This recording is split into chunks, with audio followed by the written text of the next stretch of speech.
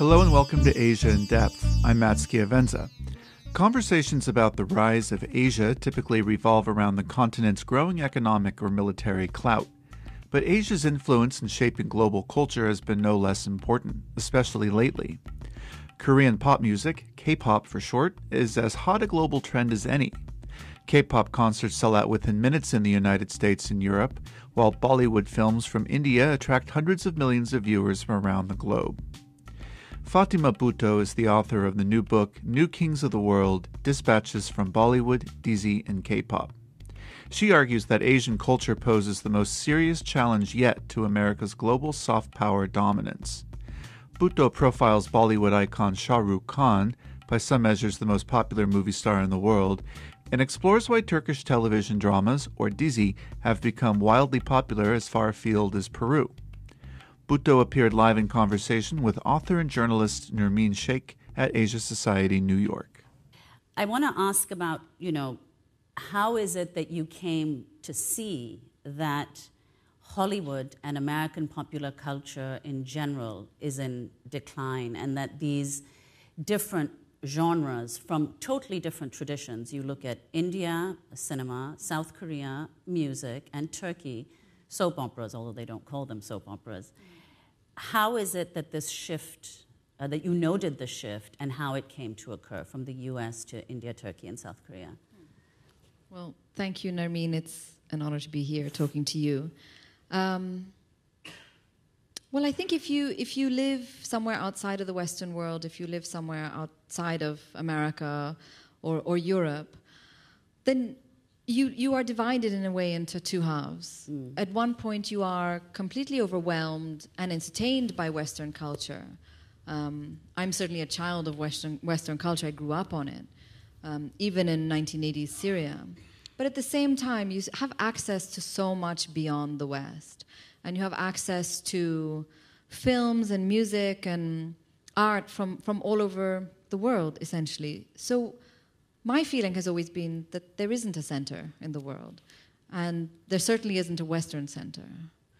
I mean, we live in a very multipolar world, mm. um, except that's not the narrative that's given to us. And you only have to watch the most recent outputs to realize that it's Western culture is looking inwards and inwards and inwards and inwards to the point of collapse, almost.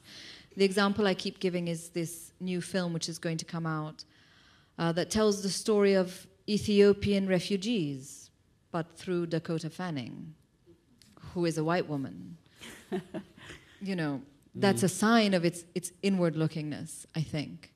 And and not just that, you know, um, Zero Dark Thirty is another movie that I always think of because it seemed so insular in its vision. I presume you've all seen a bit of Zero Dark 30 mm-hmm. sort of. You're not missing very much, but but Zero Dark Thirty is that film which claims um, erroneously that it was torture that helped America catch Osama bin Laden. And it does these ridiculous things in the film. So, you know, most of it is set in Pakistan, and anytime a Pakistani sort of smiles at someone or has a nice time, something explodes in the background. um, you know, there's a scene where a, a man is being waterboarded to within an inch of his life. And the gaze of the camera is not on the man being tortured, but on Jessica Chastain, the CIA agent, who's having a terrible time watching it, you know. And at one point, the, the torturer stops to go up to her and say, Are you okay?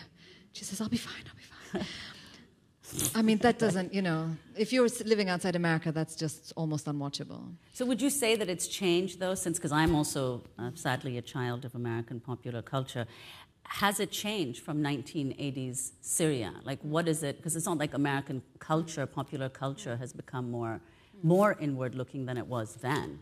It's always been inward looking, so I'm glad you mentioned 1980s. Um, you may remember that uh, Rambo was dedicated to the brave Mujahideen fighters yes. of Afghanistan.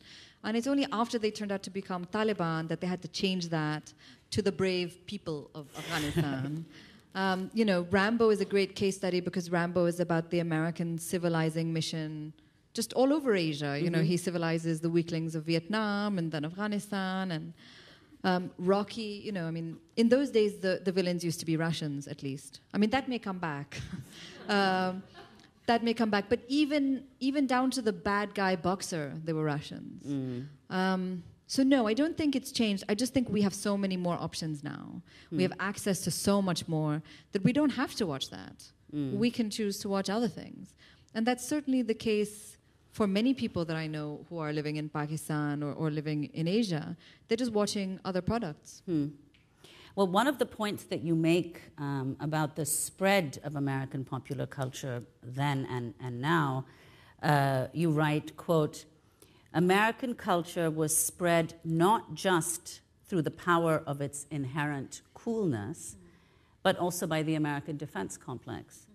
So, to the extent that military power, if not occupation, is critical to the spread of culture across national boundaries, does that play at all in the uh, cultures that you're talking about that are now being exported extremely successfully and being consumed all over the world of Korea, uh, India, and Turkey? Well, just to give you some background on that, um, you know, 1968 was the peak of American deployment of military personnel, and at that point, there were over a million American military personnel deployed all over the world. I think it's something like 54 countries. So that's not only a huge amount of people, but those people were supported by machi- the machinery of bases. Um, they brought in their culture, they brought in their movies, their magazines, their music, and um, they also needed to be entertained. So these were places for culture to be performed. So South Korea, which I write about in New Kings of the World, is, is in fact the best example of that. And from 1948, 45 till 48, America ran a full military government in South Korea. Um, in the 50s, they have over 300,000 troops in South Korea alone. And at that time, if you were a young South Korean, your options were pretty limited music wise because of the Japanese invasion and, and um, settlement before the Americans. The most popular music at that time was something called trot. And that was a mix of foxtrot and Japanese choral music, essentially. So that's like your parents' music, you know, your grandparents' music, even. And if you wanted to listen to something besides trot, there was really only one place to go the American bases. And if you were a musical um, performer of some kind and you wanted to play rock and roll, the only place you could go were the bases. And in fact, today, um, even though the full military government has ended of South Korea, there are more American military personnel deployed there than in Iraq and Afghanistan combined. I think, in terms of the new cultures that I write about, that's certainly something that we're going to see in the next few years. You know, Turkey is a great example. Um, they're pushing out um, Turkish power into the world in a very systematized way, um, and that will potentially include Turkish bases as well. Um, will they then use their bases as a springboard for Turkish culture? They may. They also don't really have to because Turkish culture is springing quite well on its own at the moment. Mm. And, and what about for, for India? I think it really India is a difficult case because of what's happening in India today. India is hard to tell. I think, um, I think the Indian influence is is is is, is very wide, um, not just because of Indian power, but also because of Indian migrants. Um, I think they're the second largest migrants in the world. And they, they, for example, the reason you have great Bollywood fans in places like Uganda or Nigeria or Kenya are because there have been Indians settled there for a long time, and they bring their culture with them. Um, how politics will complicate that, I think, again, is an interesting thing to watch in, in the very near future. So let's talk about um, the Badshah, the king of Bollywood, uh, who you profile and you spend all this time with uh, in Dubai and in Abu Dhabi Yeah. Dubai while he's filming. So I'm sure almost everyone here is, is familiar with who he is, um, but if you could say a little bit about the time that you spent with him and what you think accounts for his near universal appeal. I mean, he is now apparently the most popular, or has been the most popular actor in the world. And just to echo some of what you wrote uh, in the book, um, a, a Guardian reporter who profiled him said that she was struck that, quote, the hysteria that follows him makes Beatlemania look like a libraries convention. I thought, wow. Is that Nosheen Iqbal? I can't remember the Oh, author's She did name. a good profile of him too. Um, I just, I mean, we can't really see you, but is there anyone here who hasn't heard of Shah Rukh Khan? One person. Yeah. I'm sure that's not true. There's always there's always a contrarian somewhere. But um, okay, so one person is still a low number. Yes. Um, Shah Rukh comes from an interesting background, and his background is unusual for Bollywood. Shah Rukh is the son of a freedom fighter who fought against British colonialism. Um, he comes, his fam- Shah Rukh's father's family, and Shah father come from Peshawar originally. Uh, their family house is still there in Peshawar. And he worked with uh, Abdul Ghaffar Khan, um, known, of course, as Frontier Gandhi. And his father was a poet. Shah Rukh himself is interested in literature. I mean, all that's already incredibly unique. And he comes of age um, just as India undergoes neoliberal reforms. That's when actually all three of the Khans, Aamir, Salman, and Shah Rukh, break out. They all break out at the same time. But unlike Aamir and Salman, um, Shah Rukh breaks out in an unconventional way. So his early films, uh, he doesn't play the characters we know him for today, the sort of lovable boy next door. He plays psychopaths. Um, he plays stalkers and, I mean, really creepy sort of characters. And yet, people love it, and people love him. And Shah Rukh embodies a moment in India of, of great change and great hope and great possibility. And he's adopted, I think, by all of South Asia at this time. He's, of course, a Muslim. Um, all the three Khans are Muslims. I mean, the three biggest actors in Bollywood today, as 10 years ago, as in the 90s, are all members of, of a minority. Um, and he encapsulates something hopeful. I think that's partly what accounts for his stratospheric success. And he also moved from television to film, Yes. right? Which was a very unusual. He's also, yeah, exactly. He's one of the few people who moved from TV to film successfully. And one of the nice little known facts about Shah Rukh is that Arundhati Roy, um, the famous Indian writer, wrote a film. And Shah Rukh had a tiny little part in that film. Annie uh, something Annie. Yeah, like that, yeah. I've forgotten it. What is any? Yeah. Annie gets get your gun. gun or something. Yes, Annie gives it those ones. That's right. Yeah, that's it. Um, and he has a small role in that film. And um, he goes from strength to strength to strength to strength. I mean, he's still making movies. Um, he's still the hero of his films, and he hasn't really slowed down in any way. And what about the time that you, I mean, as a character, you spent a lot of time with him, or several days? How long was it? It was two days actually. days. Um, I I was given the choice at that time. Shah was um, going to go and uh, record a TED talk in Canada. So I was asked by his his team that do you want to come and see the TED talk, or he's going to be shooting for an Egyptian prank show for an Arab channel in Dubai and Abu Dhabi. So that was obviously the one that I that I chose. And I spent a bit of time with him before the shooting, um, interviewing him, and then spent the day with him as we traveled to Abu Dhabi. And it was a sort of planes, trains, and automobiles. You know, there was helicopters and cars and all this sort of stuff. Um, and I mean, I don't want to ruin. Okay, you may have seen a clip um, maybe two years ago of Shah Rukh Khan uh, in a jeep being drowned in a swamp, and then a lizard comes out to eat him. Does this ring a bell? So that's what I went to watch, um, and um, it was. I mean, it was crazy. Obviously, yeah. obviously, because the world of TV and film is so bizarre, anyways. Yeah. I mean, now throw a lizard and a swamp and all this other stuff into it, And Shah Rukh. and Shah Rukh Khan, and it becomes even stranger. right. Um, but it was, I remember that the the producer and the people around the shows kept saying to me that you know, we don't think of Shah Rukh as an Indian star. Shah Rukh is an mm-hmm. international star, mm-hmm. and you know, Egyptian, Indian, same thing. This is he's one of ours. We understand him. He speaks to us.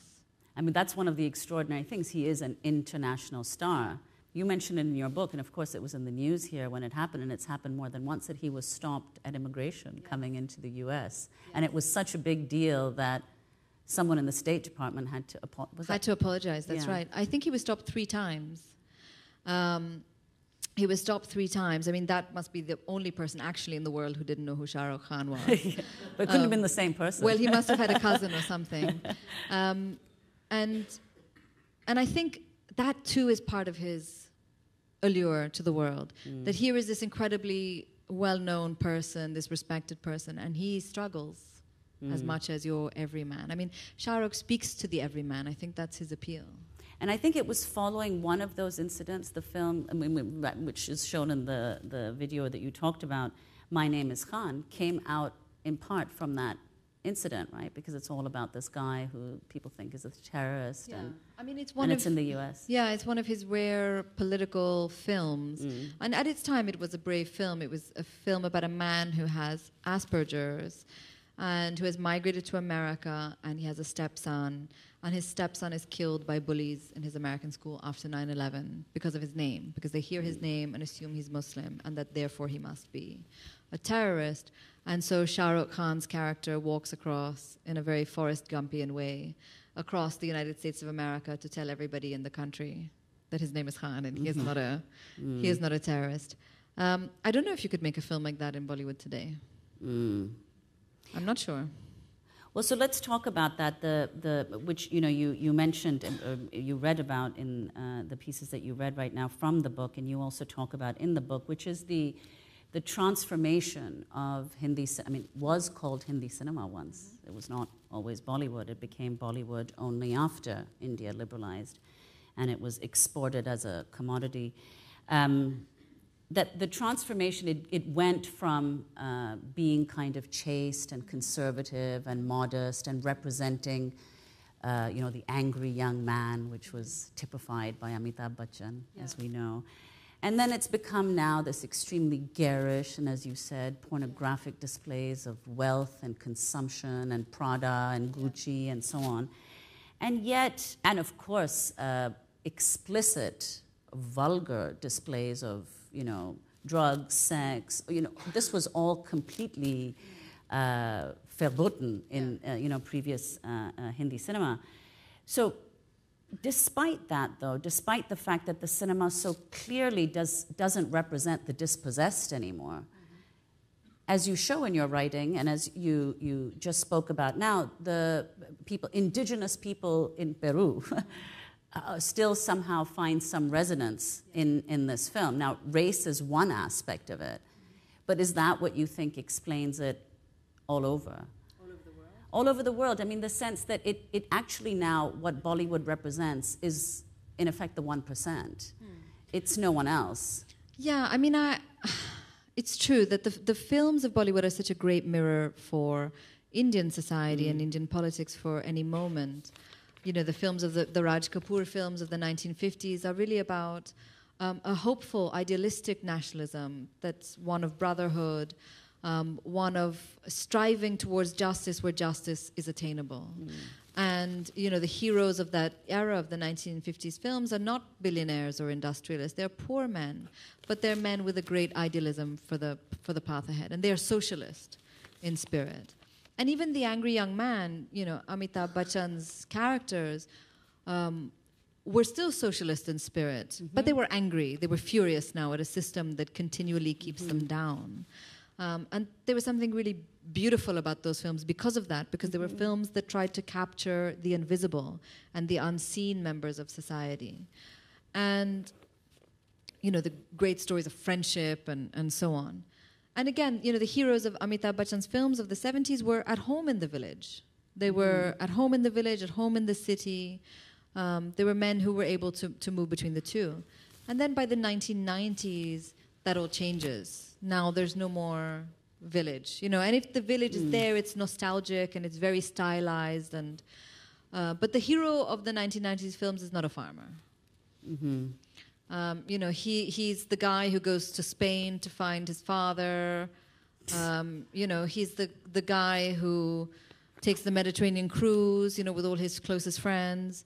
Um, you know, in in uh, Kabhi Khushi Kabhi Gham, they don't even use cars; they just use helicopters. So it's this kind of absurd materialism, um, and and and now, of course, they're very propagandistic. A lot of the films today are very jingoistic and reflect this kind of rightward tilt. But I'm hopeful at least that there are some exceptions. So Gully Boy, I think, is a Oh, yeah. is a great exception. Yeah. And I think Gully Boy is really the best film to come out that I've seen in the past few years because it recalls old Bollywood. Mm-hmm. Because this is about, for those of you who haven't seen it yet, it's on Amazon Prime, so you can. Um, and it's, it's India's submission to the Oscars, I Mm-hmm. believe. It's about a young Muslim boy who lives in a slum who In Dharavi, in fact, the biggest slum in that's right. In in Bombay, who wants to become a rapper, and there are these great scenes in the film where he's employed as the driver of this rich family's car, and he's got to drive this daughter around to you know all all her rave parties and uh, dinners, and and at one point he's sitting in the car just endlessly waiting for the girl to come to be done. And he hears music, and because he's a musician and an aspiring musician, he, he's sort of entranced by the music and he gets out of the car and he follows the music and he's almost followed it to the door. And at that moment where he's about to step into the threshold, the bouncer, the chokidar of the rave, um, is standing there. And they catch each other's eyes and the, and the chokidar just does. And you know, that was so powerful. I haven't seen that in a film in a long mm-hmm. time. So I think I'm, I'm cautious about saying it's over and that it's just going to be Hollywood excess and Hollywood materialism. It is true that it's more racy than ever mm-hmm. before. Mm-hmm. Um, it is true that they are adapting things. So even Gully Boy, you might have noticed, had a lot of songs, but no dancing. You're right. So there's no backup dancers, there's no fountain, there's no, you know, No, no, snow in Kashmir, there's none of that. And and I think that's because they're looking a little westward. The, the question is, will they make films like Gully Boy or will they make fr- films like Uri? That's the question. I mean, that's a, with Gully Boy, in fact, right after that moment. And that's why it had this echo of Amitabh and the angry young man, because right after the moment that you describe, he comes back and he's extremely angry. Exactly. And he sits in the car Yeah. and he says, Apna time aayega. Yeah, exactly. My time will come. Exactly. Um, but so that's the thing. What, what that film did, it's true that now there is no longer a village, as you said, um, but there is now a large uh, urban proletariat. And the films now in Bollywood, even so called independent cinema, they are not preoccupied with the concerns of, so that now when people watch Bollywood, there's this impression that in fact all of India must be middle class, if not upper middle class. But what happened to all the people who came from villages Yeah. to urban areas? And where is their representation? unseen unseen and you know that's that's one of the things that is troubling obviously globalization as we know it has been exposed as a lie hmm. because it promised the world that there was going to be this onslaught of opportunity and wealth and access. Mm-hmm. You just had to work for it. And millions of people so you know over a billion people have migrated. We live at a time of, it, of the peak of migration that we've ever known. And in countries like America and, and in Europe, the impression is that they're all coming here. But actually, out of a billion people, only about 200 million people are leaving their countries for other countries. The majority, some 700 something million people, are moving within, Within their borders, own yeah. countries. Um, I, I've heard something incredible the other day that within a decade, um, what is it? Half of the world's population is going to be middle class, and two thirds of that is going to come from Asia. Um, but those people are not reflected in Bollywood. They are. Some of them are reflected in, in Turkish shows, though. Turkey has been skillful in telling those stories and in not ignoring the dispossessed, uh, the disenfranchised, um, the uncomfortable. Bollywood has, and Ra- Rachel Dwyer, who's an academic who studies Bollywood and film, makes a really interesting observation in a book that she wrote, I think, 10 years ago. She says in the older films, the household staff were a part of the story. There might be a sort of ayah that's right. or a cook or a domestic staff who's a part of the story in a powerful way. And she says you don't even see them in the films of today. They're just tucked away in the kitchen. They don't even have names or personalities or storylines. Well, I mean, that's so we'll get to the, the Dizi, the, the form uh, in Turkey that's now um, all over the world. But one other aspect of this, the change that took place uh, in Hindi cinema or Bollywood after India liberalized, which is that, uh, and you cite Pankaj Mishra uh, as saying uh, that Bollywood created the mood music for Modi. So, what is the link uh, that you see between the, rep- the kind of India that's represented in Bollywood and the rise of right wing uh, uh, government, and you know, which is increasingly uh, belligerent, exclusive, exclusionary, etc. Mm-hmm. Well, it, it's it's really a distinctly um, aggressive, well, a cultural aggressiveness mm. in a way. And the example that I give is K, uh, Kabhi Khushi Kabhi Gham, again. And there's a scene in that film which you know if you if if we put it on today you might have a bit of a giggle. It's that scene where Shah Rukh's son stands up in his English country public school countryside public school and he sings the Indian national anthem. And as he's singing it somehow all these white English kids know the words and they stand up and start singing it. And then everyone in the audience you know Shah Rukh stands up the wife stands up and then all these uh, English aristocrats stand up. And and the best part is there's a girl in a wheelchair. She can't stand up, so she raises her arms, you know, right. because she wants to be a part. So, okay, we can watch this and, and sort of say, oh, it's funny, or, you know, it's kitsch or whatever. But it has a, it has a political consequence. Mm. And the political consequence is that when that film was in the cinemas in India, a man in a Bhopal cinema was watching that film and was so moved by that scene that he actually did stand up in his cinema seat. And when he stood up, all the people behind him got annoyed and said, "Sit down and get out of our way," and you know, shut up. And he was so offended that he left and he began a protest outside the Bhopal cinema. And when that protest uh, didn't go anywhere, he filed public litigation and he took a case all the way to the Supreme Court to make it mandatory for people to stand for the Indian national anthem. Now, it was mandatory. That law was tweaked last year. So in 2018, it was they made it optional again. But but these are films with political consequence, you know. Um, the NRI films of Karan Johar feed into a lot of this narrative. Um, again, in God, you know, they all have K names. I never understood why, except that his name starts with a K. Kabhi uh, Alvida Na No, not that one. Oh, Kuch Kuch Hota Hai. You know, there's a lot of distinctly jingoistic. You know, they raise the flag every mm. morning. And, and, what is interesting actually is that I think Indian films always had that. Indians are very nationalistic people. They're people who are very proud of their country. As are Turks. Turks are also very nationalistic people, very proud of their country. But you don't see Turkish flags in Dizi. Mm. Nobody salutes the flag. Nobody wears a pin with the flag. There's no Turkish equivalent of Jai Hind in the dizi. Mm-hmm. Um, and all that comes. But at the same time, I think Modi has been, you know, whether it's the modification of Bollywood or the other way around is unclear. But after Pakistan and India faced off in February, um, and anytime two nuclear countries face off, that's a terrifying thing. You know, our air forces were engaged in dogfights for the first time since 1971. Um, and in that was in February. And as Modi was campaigning during the elections, which took place in May in India, he said repeatedly that what happened with Pakistan in February was just a trailer. The full movie is to come. Mm.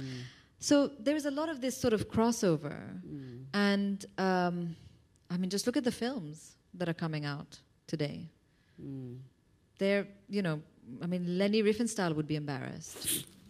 You know, the director of Devdas, Devdas announced on Modi's birthday that he is going to make a film on Modi. It's, I, I'm embarrassed for him, you know, at least yeah. announced it the day after. right. You know, not to be so obvious.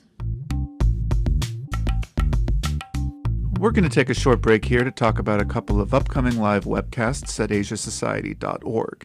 On January 27th, the Chinese businesswoman Lan Yan recounts her incredible life story in conversation with CNN correspondent Bianna Golodryga.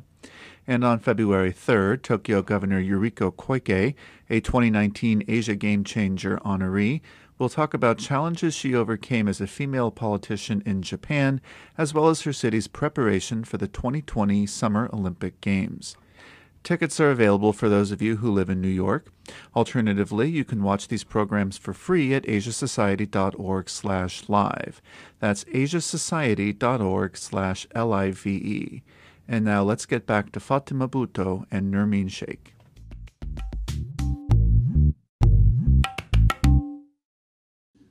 But it's also the, the other connection. It's true, Karan Johar has a lot, uh, a big part to play in this, but it's also, and again, one doesn't know which comes first, but that. I think they rise together.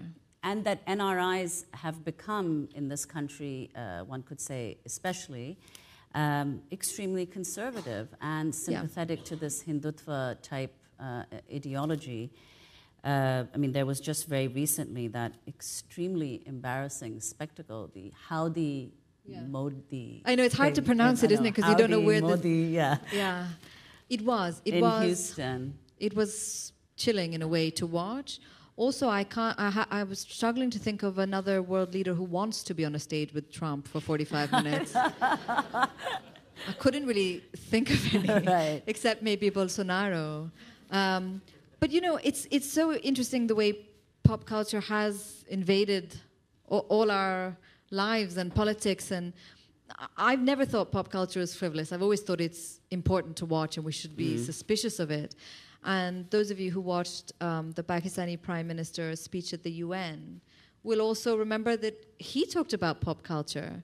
Um, Prime Minister Khan, in fact, referenced the great classic film Death Wish at the UN. Did you catch that? No. Yes. What is Death Wish? I don't even know. Death Wish, the Charles Bronson oh, film. I see, Death I Wish. see, right. I thought you were translating from some. Oh no, no, film. it's not like a Hindi film. okay. It's, it's, an it's an American film, and mm. and he he he quoted Death. I mean, I've never heard of a leader at the UN referencing mm-hmm. Death Wish, but but it's and he said he said you know we've we've grown up with Western movies mm. of the good guy who can take it no longer. That's exactly what he said. Mm. I think that's fascinating. And also, by the way, at the UN, Prime Minister Khan spoke about um, uh, an initiative, uh, a television initiative. Did you see that? Where Malaysia, Pakistan, and Turkey are going to come together to launch a new TV channel. Wow. One aimed at a um, countering Islamophobia and presenting a different face of the Islamic world. So c- pop culture is not silly at all. It's very serious stuff, and countries are thinking about it seriously. The problem is we're watching it innocently, thinking, "Oh, it's just entertainment." It's not right. entertainment.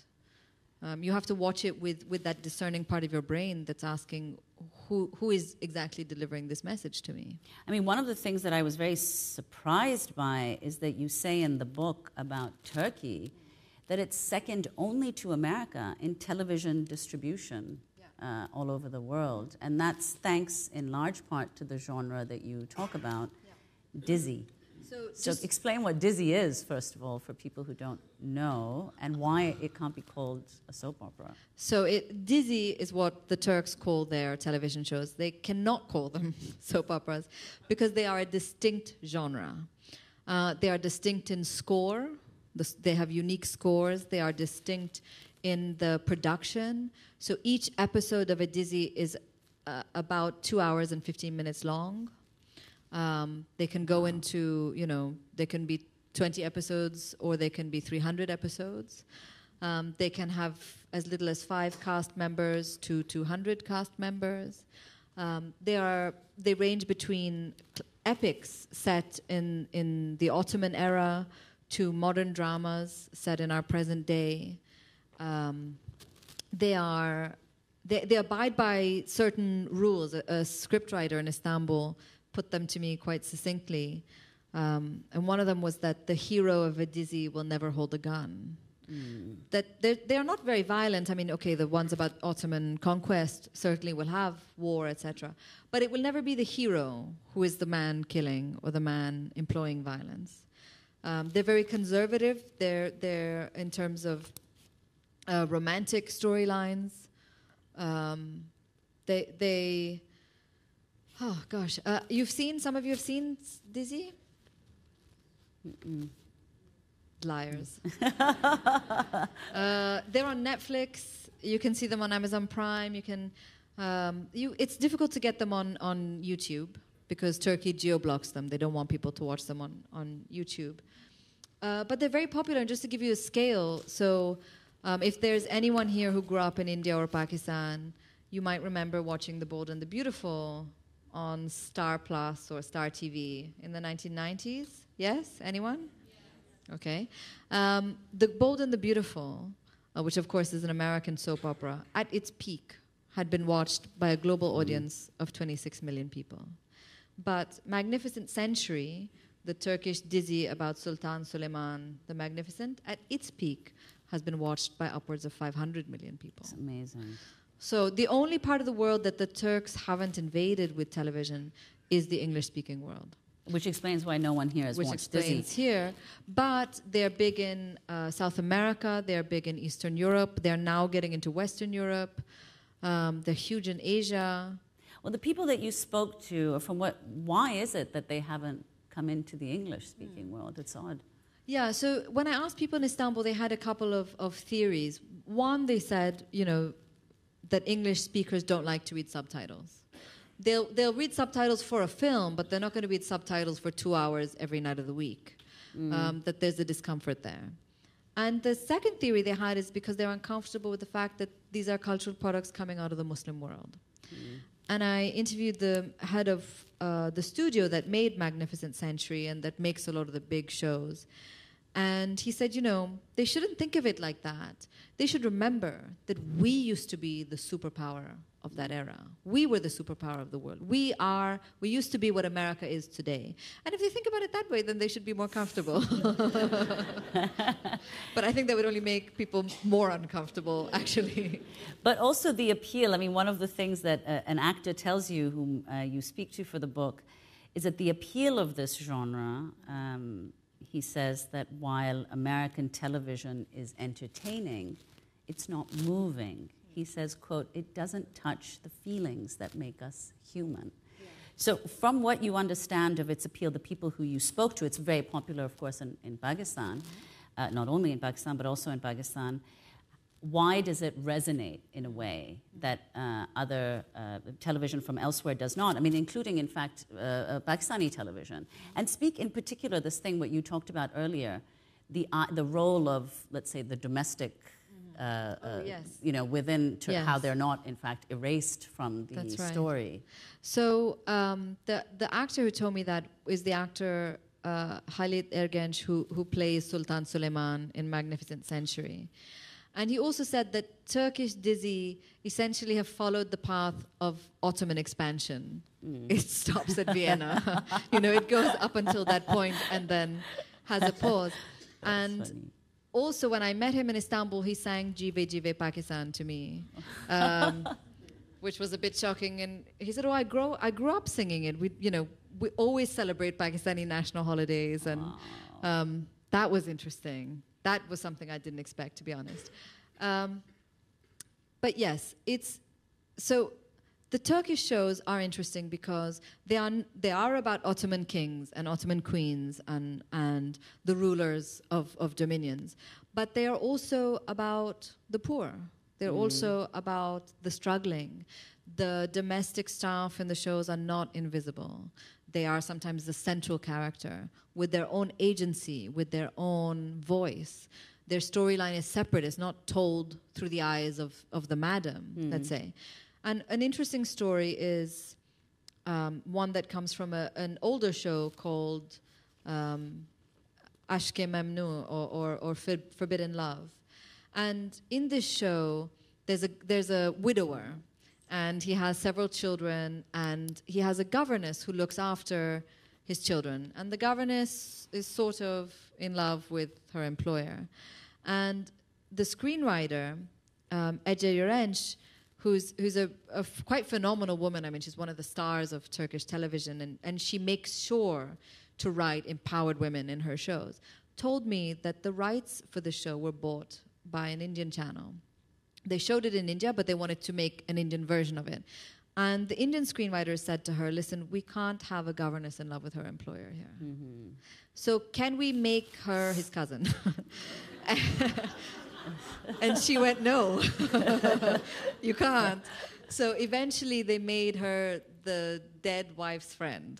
Um, but that's a fascinating anecdote. I mean, it's so revealing The other one that I always mention, and there and there are many more shows that speak to this. There are many more current shows, but but for this book, I was looking at a few of the new shows, but really at the big ones that are responsible for this massive popularity.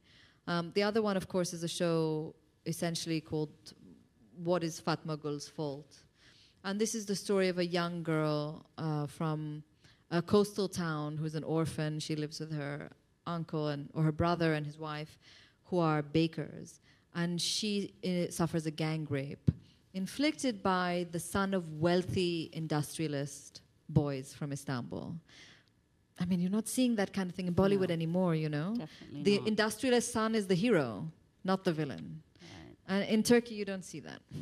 And also the fact that Dizi, uh, they're not, uh, you don't read subtitles, they're, they're dubbed in Well, Urdu and then also speak about the Arabic, the Syrian Arabic. Yes. So, so in if you watch a Turkish Dizi on Netflix this evening, as I know you will, um, they will be subtitled. But if you are watching a Turkish Dizi in Chile, it will be in Spanish. And if you are watching a Turkish Dizi in Karachi, it's going to be in Urdu. And part of its popularity, part of the way in which they, they traveled the world, is that they were bought by a Middle Eastern channel first. And the man who bought it, who I interviewed for New Kings, had a sort of flash decision. He decided two things. The first is that they were going to rename them uh, in Arabic. They were going to rename the shows and they were going to rename all the characters, which, I mean, didn't happen in Pakistan. In Pakistan, they have the same names.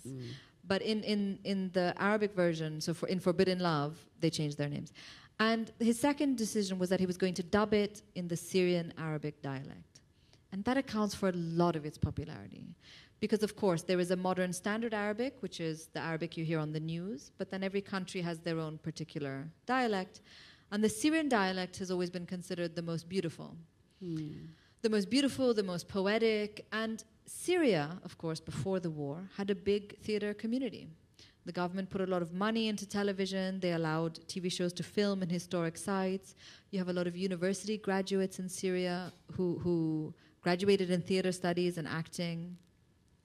And, and one of the things that happens is that, um, let's say, the actor who plays uh, character X in a Turkish show will be called Adnan. That same voice actor will play that actor in every show he does, hence, and they will always call him Adnan. So, so people grew very attached, and um, it really kicked off there. And it was from there that it traveled to the world. You know, I will say in the beginning, it was sort of embarrassing to turn up in a refugee camp and say, "So sorry, what are you watching on TV?" um, but it reveals a lot, actually, about um, about the experience of being displaced, and that's what I'm going to read from here. In Akkar, two floor fans have been switched on, blowing a gentle breeze of warm air against Sheikh Abdo, the camp's community leader's home. For the young and the old, these shows are a link to our past, he explains, drawing an elegant super slim cigarette out of its pack and lighting it. They are a reminder of what the refugees once had the good fortune to experience before fate brought them here, to this converted garbage dump, now camp. Family, love, bonds of brotherhood, and friendship. Khadija, a mother of seven, clad in a long, regal purple kaftan, has been in Al Ihsan for five years. She and her family had left the home she ever knew, Homs, and were shuttled across four cities by the Red Cross before being settled in Akkar. Her husband worked in construction in Syria, but was unemployed here, even though there's so much building that needs to be done. Her five sons live in constant fear of being picked up by the Lebanese army. They don't have the right papers and are illegal in Lebanon. When they try to work, they get caught and get arrested. The Lebanese army and police eventually let them go, Khadija said, but it scares the women so much. Hmm. The men get sick in jail. It's filthy there, so unhygienic. And the women, they get sick after from mental illness. When we spoke out on the dirt road, a bus with a white decal of Jesus in profile on its back window, wearing a crown of thorns and a tear in his eye, drove by. As it ground past the narrow space between the camp and the world, a cloud of dust lifted up from the earth. Jesus save you, the decal said to no one in particular. I watch all the shows, Khadija told me emphatically, pressing her hands on my knees as we sat together on thinly stuffed, misshapen cushions. I watch them for the stories love, defending love, defending each other. That's what I like. Her long hair was tied back in a bun, and her face glowed as she spoke about the dizi. It takes me away from here. I'm living in war, and all I want to watch is romance. Sheikh Abdo must be in his early 40s. He's too young to be called Sheikh, but was given the honorific in appreciation of everything he's done for the displaced in the Al Ahsan camp. He inhales deeply from his slender cigarette, running a hand across his white stubble as he does so. All of them watch the TV shows here too. There's nothing at night to do except watch television. This small community of Syrian refugees has been in Lebanon since the start of the Syrian war, Sheikh Abdo says sadly, and they'll stay here until there's a solution. The roof over our head is made of thin, silvery sheeting, and the home is bare except for one luxury item a fridge, which hums audibly in the corner as we speak. Sheikh Abdo is not exactly a fan of Turkish television programs. He insists on making this clear to me. All that tension, it's too much. Sheikh Abdo says dismissively too much gossip and too much int- intrigue and too much suspense. Who can tolerate two hours of that every night? He was a teacher and a social worker before the war, and it's purely in this anthropological regard that he might join his fellow exiles in watching an episode or two. In the early days of the war, people were obsessed with the news in the camps. At 4 a.m., sometimes, Sheikh Abdo would walk outside his brick and silver sheet home and see young men, teenagers, kids even, outside on the dirt roads, pacing up and down in the dark, scouring their mobiles for news of home. They'd tell me so and so killed so and so, this guy blew himself up, they're 10 years old, but they know what's happening in Halab, which is the Arabic name for Homs. They knew who was a shaheed and who was alive, still fighting. It's less intense now, he shrugs, exhaling a thin plume of smoke. Some of those youngsters have figured out that the news is nothing but lies.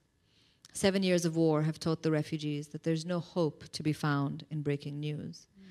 Put on the shows, the same boys say now, Sheikh Abdo recounts. Let's remember home. Let's remember Syria. But he doesn't join them, he reminds me. I don't want to watch the shows, he says. It's not home, it's Turkey. But it's better than the news? I ask. Sheikh Abdo's phone lights up with a WhatsApp call. It's been buzzing since we sat down.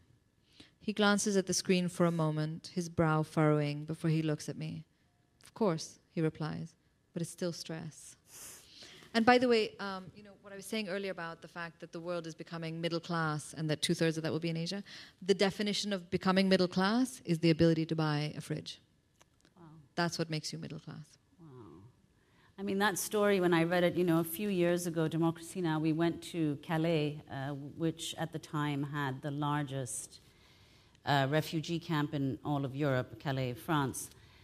And uh, there's only one little cafe there, there was. Now the camp has been dismantled, um, which I don't know if any of you saw. There was a play at St. Ann's Warehouse called The Jungle. Mm. was it, a, was it St. Anne? Right. So that, uh, it, the, the play centers on this cafe. There's only this, this one cafe. And so when we were filming, we were there all day. It was freezing cold. I mean, not that we should complain, whatever, it was terrible for the people who live there. Uh, we went into this one cafe, and there's a giant television in the corner mounted on this makeshift wall. And non-stop Bollywood songs. well, this is you, extraordinary. You know, Khadija, who I just um, spoke about right now, she told she loved Dizi, but she told me she said, "You know, my husband, he's such a pain. I can't get him away from the Bollywood. He watches it nonstop." And she said, and she took, she took a sheet from the floor and she pulled it over herself like a sari and said, "Here, this is Bollywood. Watch me now." Which I thought was sweet. Okay, so but before we, we open it up to the audience, I want you to say a little bit, at least, about about uh, uh, K-pop, yes. uh, Korean pop, yeah. What it is, yeah. why it's so uh, uh, popular now. Yeah. Um, so K-pop, um, I mean, is a massive phenomena, and it it really is born quite interestingly. It has two sort of genesis points. The first is out of the bases. So one of the earliest K-pop groups, you could call it that at least, um, were a trio called the Kim Sisters. And you know they appeared with Dean Martin in the 1950s. They came on the Ed Sullivan Show in this country something like 20 times, and they were discovered performing on the bases. So part of it has its genesis from there, and the more recent genesis comes from the Asian financial crisis. So in 1997, when Asia was wrecked, um, Korea was hit especially badly. And at that time, they had to take out what was then the largest ever bailout from the IMF. So in Korea, it's not the Asian financial crisis, it's the IMF crisis. And as they were struggling to rebuild their economy, it was very clear to them that they couldn't rebuild in the same way, relying mm. on Hyundai and, Sa- and Samsung, you know, these monster kind of companies to see them through the recovery. And President Kim Dae-jung was inspired by Andrew Lloyd Webber and his musicals and Hollywood. And and he was incredibly insightful and perceptive because he understood that pop culture required no organizational infrastructure. So you just needed talent and you needed time. Mm. So as early as the late, late 90s, Korea starts to, to lay the country with broadband internet. By 2015, the internet connections in Korea are 200 times faster than the average American internet connection. Mm. Um, and they put a lot of money into the cultural industries and a lot of training. So they issue these, these manuals on how to export culture with little, little factoids like if you're going to the Muslim world, don't put a television show on during prayer time, things mm. like that. And, and what's happened actually is an explosion of Korean culture. It's, um, they're huge in, in video games, they're huge in television dramas, they make very sophisticated high culture films. And then there's K pop, which is a $5 billion a year industry. And what's interesting to know about K pop is that it relies on something called glocalization, which is taking um, global and making it local. So they take Western pop music, Western tempo, and they speed it up. And it's that speeding up that makes it dancey, that makes it mm. positive and energetic sounding. And it's like Dizi, like Bollywood, it's very um, it's traditional and modern. Mm. So a K-pop video looks really slick and it's high production value, but the song lyrics are really, really, really sweet and unoffensive mm. and adorable. I mean, I can read you some, in fact, because I'll never remember them offhand. I've got it in a footnote. Hang on. Um, I mean, I know you're going to pretend, oh, I've never heard K-pop, but I know you all probably listen to it too. Um, and it's also like a group. There, there. I was surprised that there are like 20 people in a group or 15 people in every band or something oh, like that. yeah, they're massive. Hang on, I'm just gonna find. Where is it? Okay, I'll find it during the questions and I'll read it to you. But they're very wholesome lyrics. Um, they're not racy or suggestive. You don't need to beep out bad words in K-pop. There are no bad words, and they're they're put through an industrial factory system. Mm. So hmm. it's not an accident that a band makes it big. It's mm. a strategic vision that makes them big.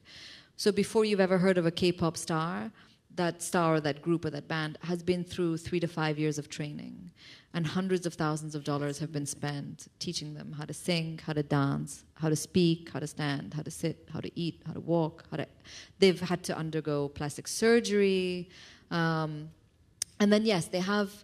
Um, part of the reason they have so many people in a band comes from the Japanese, because the Japanese taught Koreans choral music when they were there. So they organized them into choruses, basically, and into choirs to sing. And so you'll have like 12 people in a K pop band, and like one is the funny one, one is the sporty one, one is the laughing one, one is the sad one, one is the happy one, one is the like, it's something for everyone. And then they have subunits. So you'll have um, the Korean unit, which is, let's say, the main unit. So there's a Korean band called EXO, and they have EXO M, which is for Mandarin. And there'll be an entirely new set of people that sing in Mandarin.